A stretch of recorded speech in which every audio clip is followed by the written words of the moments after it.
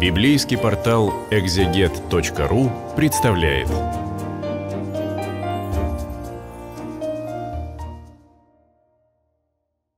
Здравствуйте. Это видео для библейского портала экзегет.ру. Мы продолжим разговор о книге Даниила и обратимся к восьмой главе. Восьмая глава содержит рассказ э, некоего автора, который называет себя Даниилом, о видениях, относящихся ко времени, ну, скажем, там, четвертого, может быть, третьего века до Рождества Христова, по крайней мере, события, о которых эти видения повествуют, вот, относятся к этому периоду приблизительно, э, что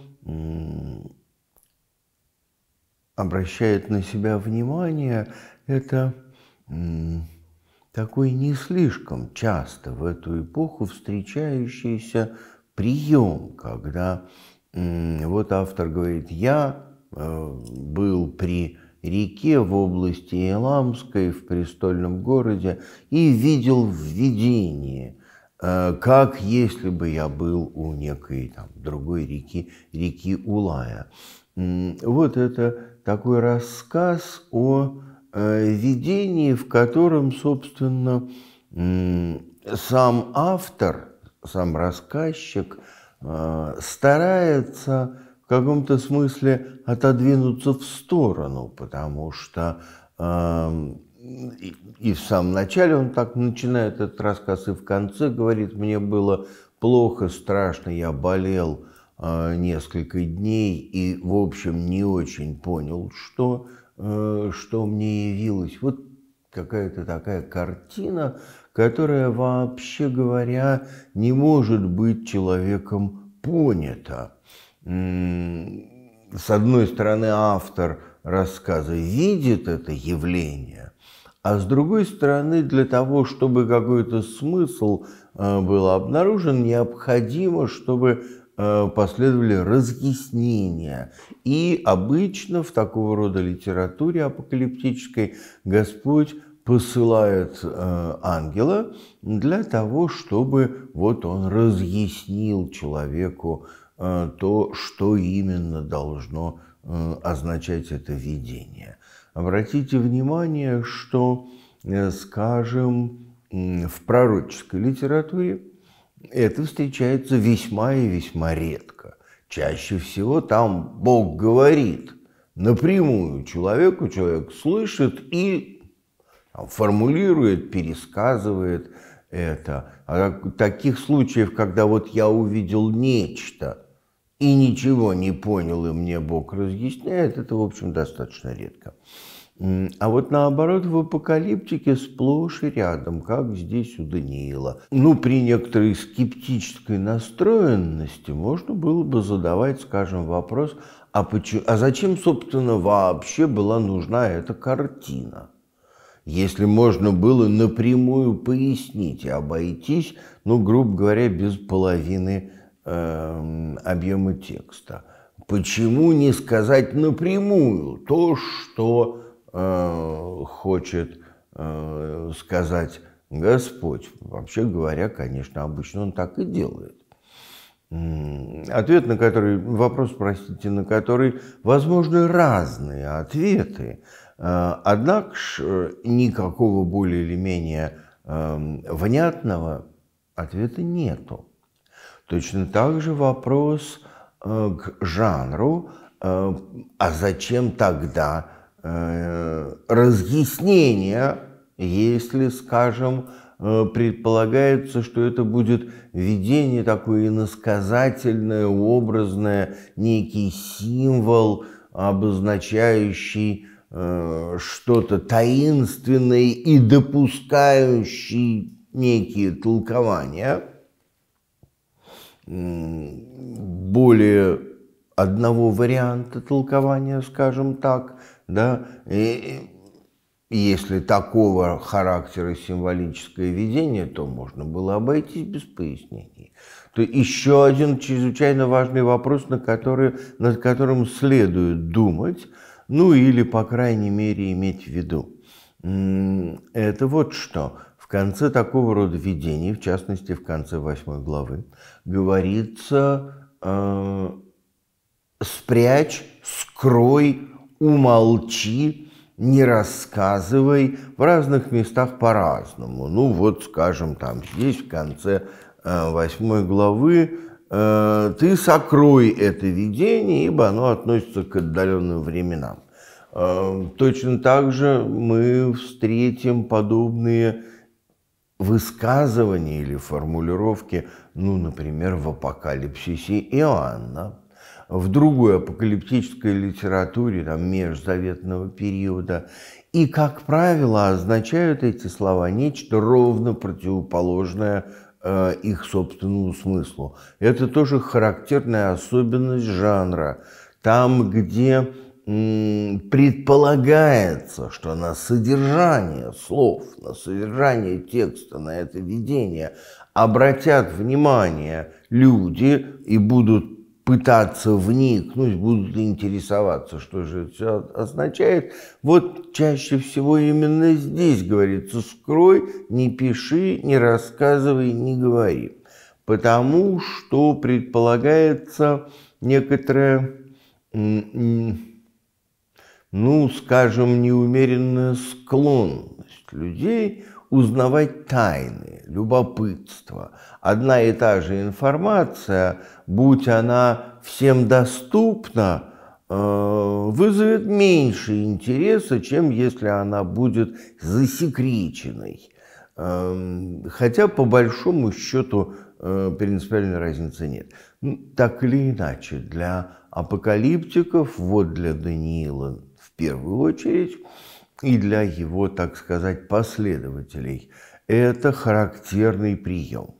Ну, иногда, впрочем, надо сказать, толкователи э, ссылаются на то, что э, политически бывает не вполне безопасно э, слишком прозрачные видения пересказывать, да и с довольно ясными толкованиями по той простой причине, что там окружающие э, власти, чаще всего какие-нибудь иноземно-оккупационные, вот э, сочтут это экстремизмом, подрывной информацией, ну или чем-нибудь еще. Тут мы можем э, много разных современных терминов применять. Ну да, действительно, такая опасность могла существовать. Но надо еще заметить, что в условиях отсутствия средств массовой информации, в конце концов, что там было написано э, неким человеком в папирусном свитке, ну или даже если он от избытка средств мог позволить себе пергаментный свиток, что там было написано и так ли уж это а, опасно? Нет, все же древние правители не очень занимались цензурой просто потому, что э, письменное слово распространялось очень мало и имело не так много влияния. Одним словом, объяснение вот этого флера таинственности над видениями через политическую небезопасность, строго говоря, конечно, натянутое. натянутое. Вот здесь мы видим с вами, что э, в третий год царствования Валтасара царя чего никак быть не могло, потому что э, Валтасар царь был очень задолго до того времени, когда этот текст был записан, ну, настолько, что человеческая жизнь не могла продлиться в течение столь долгого времени. И, э, да и был ли у Валтасара этот третий год. Вот некие видения, которые относятся к э, якобы к вавилонским временам, хотя говорят о следующих царствах, медоперсидском и э, греческом. Вот это видение, в котором явлены Даниилу, автору, который э, создает этот рассказ и потом, вероятно, его компонует с предыдущими последующими, видны два зверя, пугающих зверя, потому что они огромные. Это некий овен, ну, мне хотелось автором синодального перевода назвать его бараном. Хотя это одно и то же, э, по большому счету, так сказать, животное зоологически одно и то же. Ну вот, использовали некое возвышенное и архаичное слово. А для второго животного тут деваться некуда, не нашлось такого архаичного и возвышенного слова, он козел. Ну что делать? Ну вот из песни слова не выкинешь. Вот эти самые два животных, там у них какие-то рога, э, на неподобающих местах, потому что он, конечно, козел, но у него какой-то там один рог э, на физиономии, и вот они э, бьются.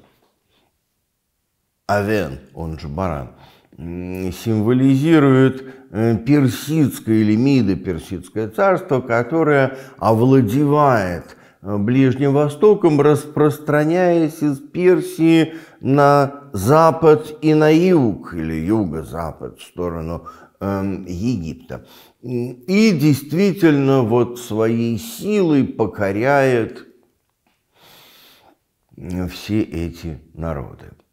Заметьте, что вот э, сам по себе чрезвычайно э, удачный прием, прием олицетворить эту силу вот неким зверем, потому что ты можешь выразить свое отношение к этому самому зверю в зависимости от того, как ты его опишешь. Там это может быть героический какой-нибудь лев от колена Иудина, или может быть что-то менее почтенное, или что-нибудь совсем пугающее. Вот некий, некая держава, которая символизируется этим зверем. В данном случае, как мы потом увидим, держава медперсидская сила, сила велика, и поэтому никто не мог спасти от него. Он делал, что хотел, и величался. Делал, что хотел, и величался. Вот, собственно, для чего и нужно это олицетворение, чтобы сказать э, об этой державе, как о том, явление, от которого невозможно спастись. Невозможно. Вот оно такое.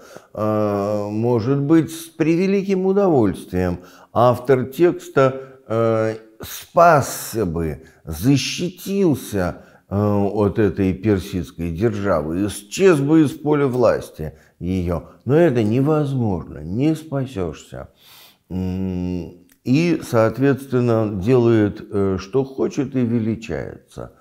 И, в общем, даже не читая дальше,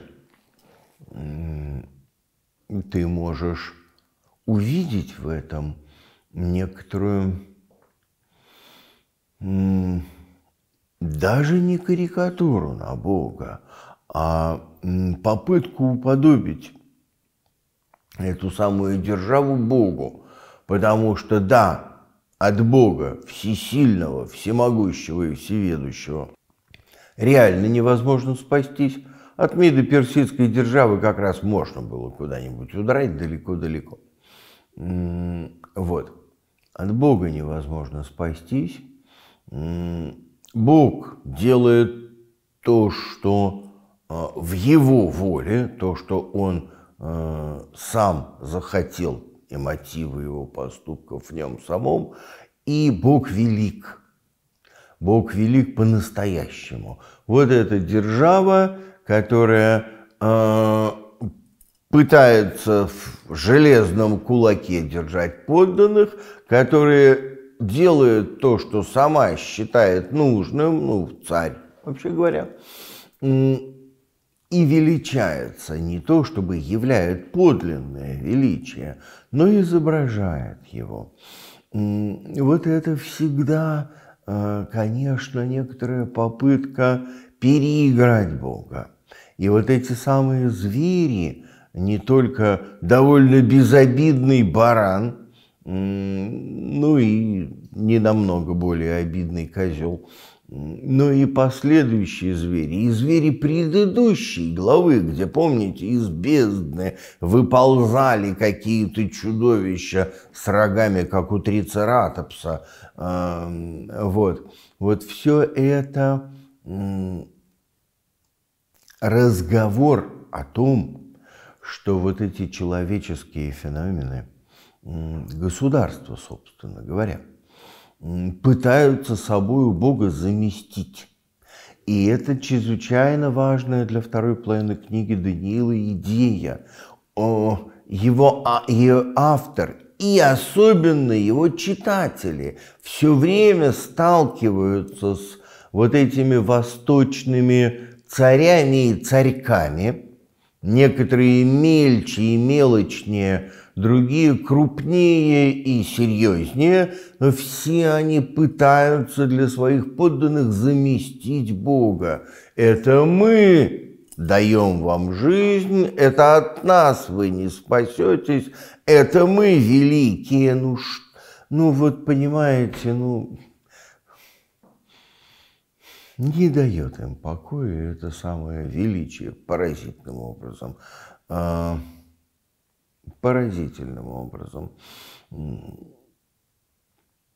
Человеческая организация, человеческое установление, которое, тем не менее, претендует на власть над душами людей. И поэтому, вероятно, оно претендует на то, чтобы казаться великим, выглядеть великим. Может быть, это проявляется, конечно, некоторая эволюционно обусловленная склонность мужчин к доминированию. А, это тоже есть, конечно же. Можно было бы счесть все это эффектами тестостерона. Но по большому счету это недостаточное объяснение. Недостаточное. А, у этого величания есть инфернальные мотивы, по-настоящему инфернальные. Теперь вот э, с запада шел козел, э, который рассверепел и поразил овна. У него сломился большой рог, вышли на его месте четыре. Вообще говоря, автор не озабочен совершенно какими-то зоологически адекватными описаниями этих животных. Это именно животные символические.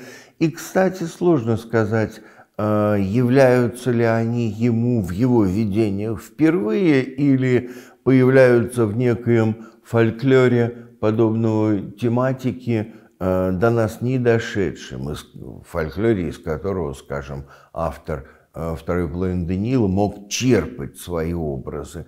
Это э, тоже вопрос, на который ответа нет. Важно, что ну вот некое подобие видит с одной стороны, он с другой стороны, и вот некоторая историческая схватка.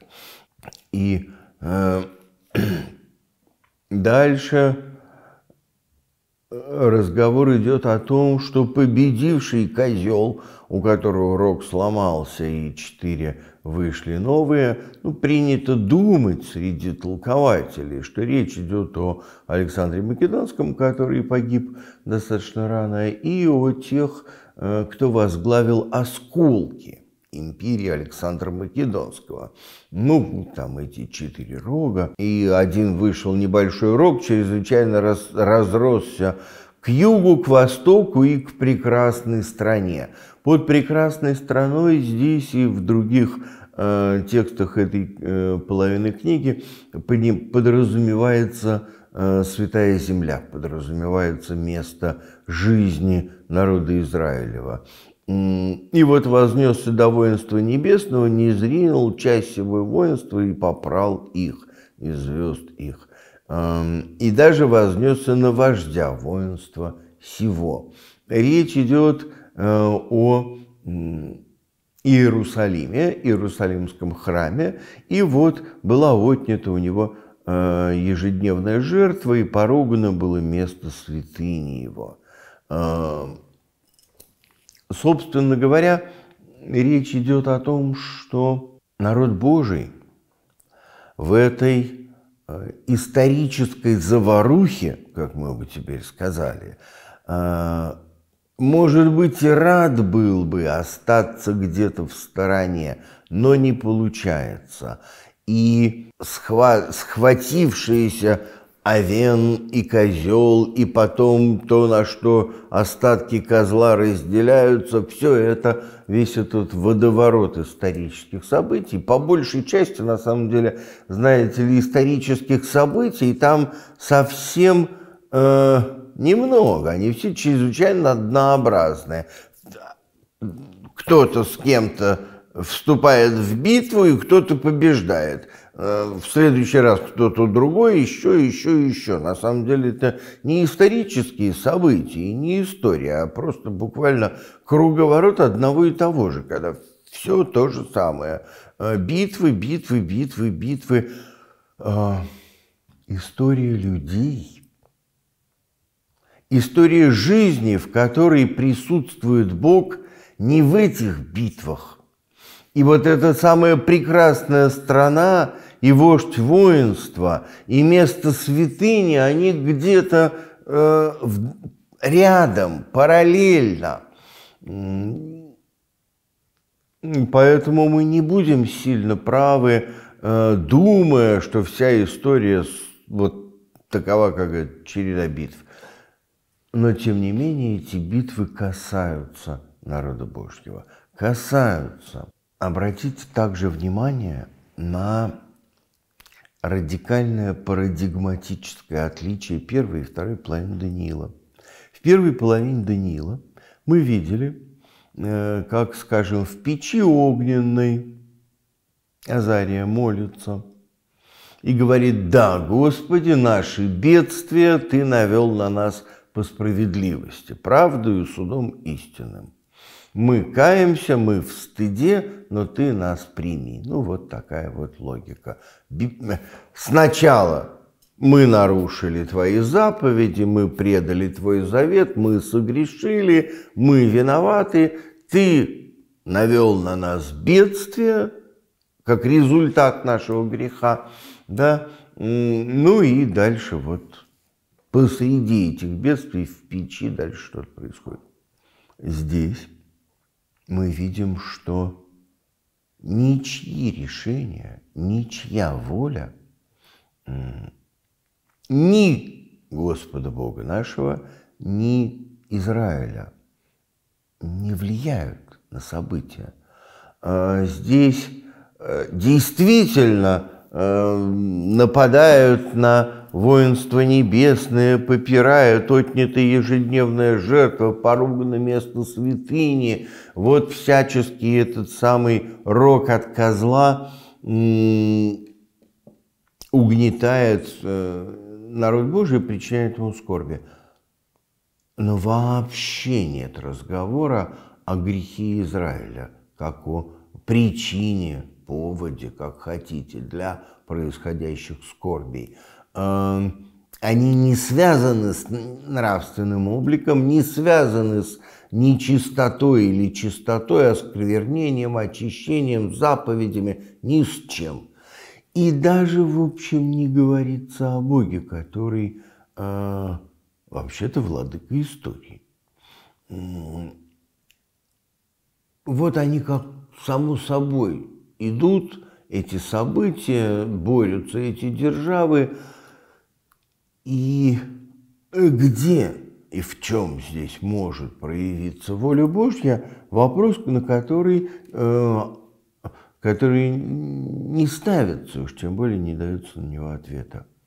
Для чего это было нужно читателю?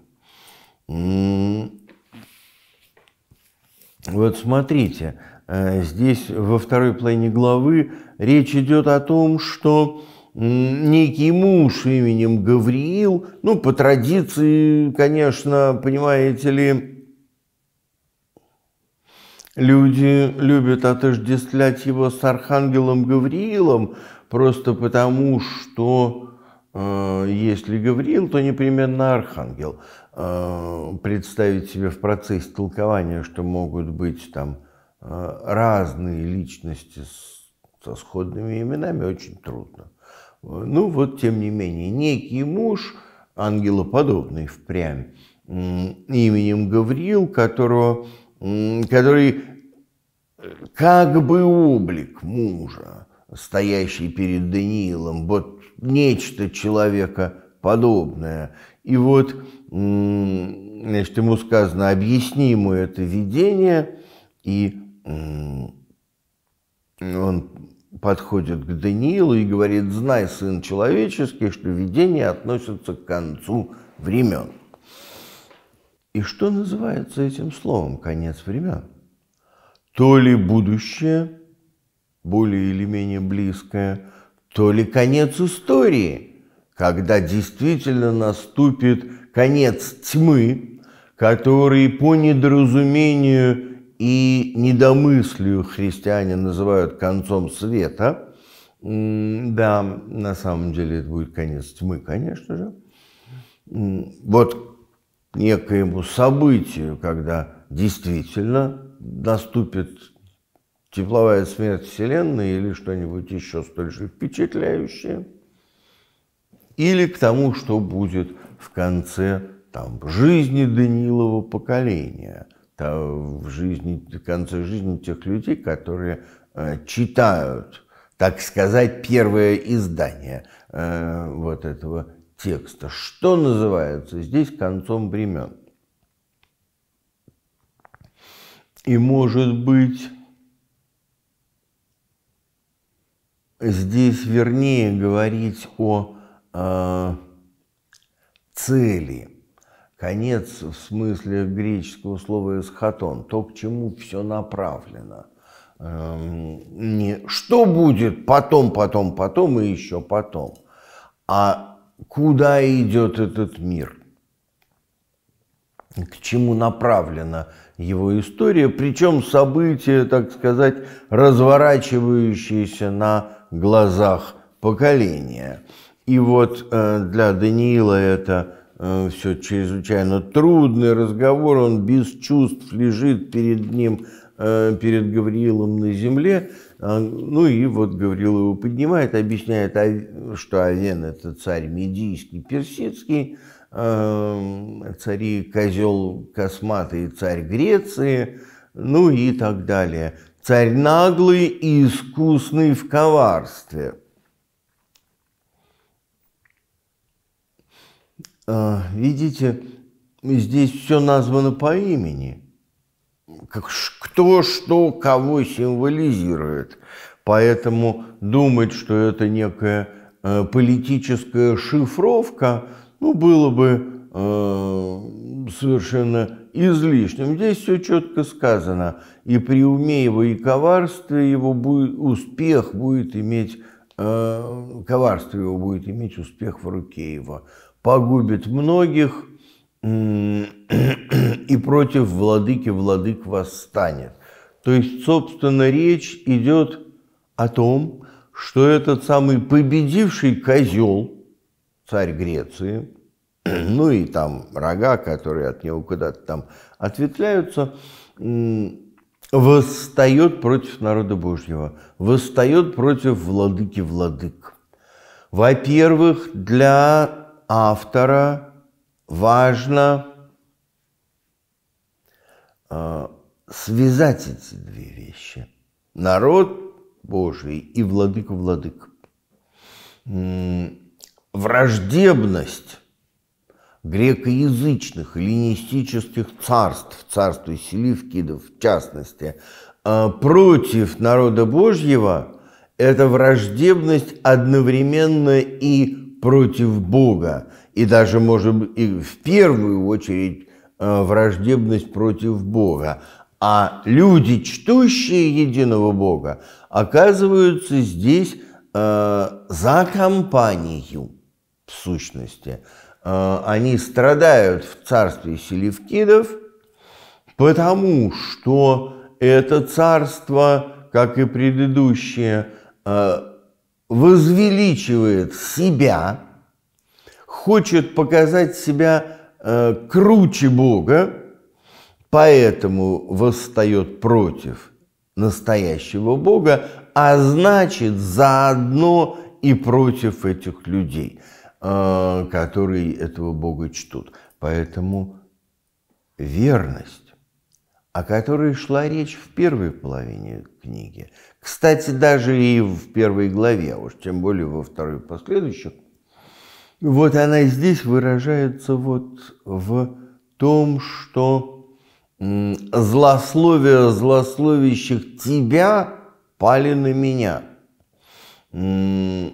Возненавидели Бога Израилева, и поэтому Израиль тоже, и те, кто хранят верность Богу Израилеву, э, оказываются под ударом не за свои преступления и не за свою праведность, а в результате своей верности – вот это чрезвычайно серьезная была э, мысль для современников, для тех, кто э, к кому, собственно, был обращен текст э, автора второй половины книги Даниила. Он обращался к людям, которые живут под ударом, и говорил им о том, что эти все а э, козлы и бараны, мало чем отличающиеся от зверей из бездны, эти все козлы и бараны а, так озабочены собственным величием, что м, ополчаются против того, кто по-настоящему велик, в отличие от них. Для Даниила нет сомнений, что величие этих самых царств человеческих, земных, это, в общем, э, пустое, дым, фальш. И вот они ополчаются против того, кто по-настоящему э, велик.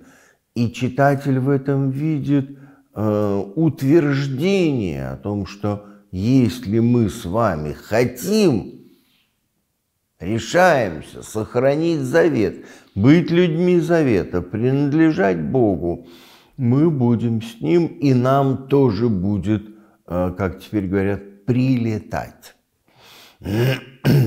И да, это, в общем, пугающее видение. Я, Даниил, изнемог, болел несколько дней.